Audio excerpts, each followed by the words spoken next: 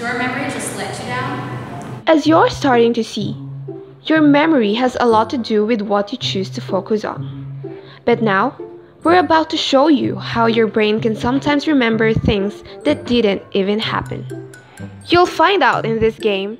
Sometimes your memory can trick you. In order to perform in a live audience, stage actors are often required to memorize pages and pages of dialogues. To remember or not to remember? That is the question. But in this game, you don't have to remember any lines. You just need to pay attention to the actor's lines. Around, people! This show is about to begin. Our troupe of actors is about to perform a short play. Listen closely because afterwards, we're gonna ask you about what you've heard.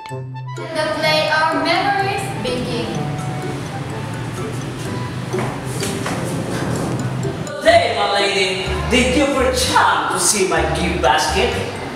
Was it the one containing delectable strawberries? I lost a juicy orange pearl as well. Did it also have an apple and a cherry? Yes, permitted carrots and rib melon stew. But not a vegetable inside. Not real one.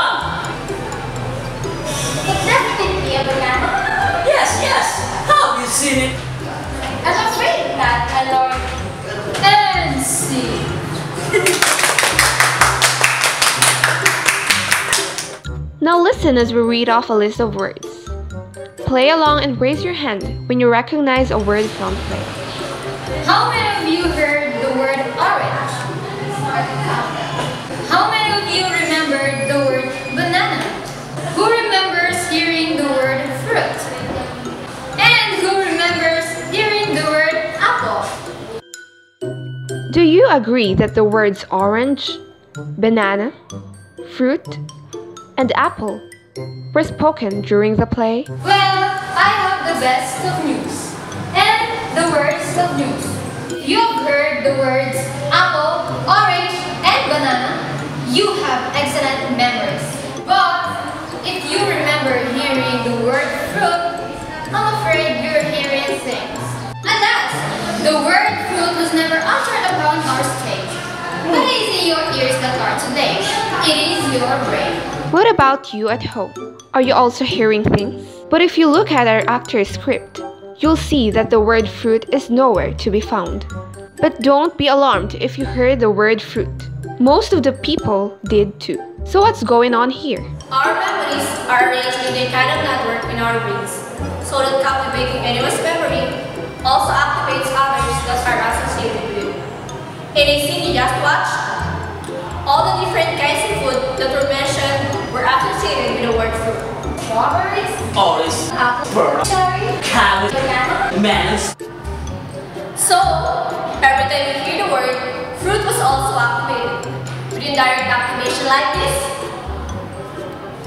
the word fruit seems so familiar to you.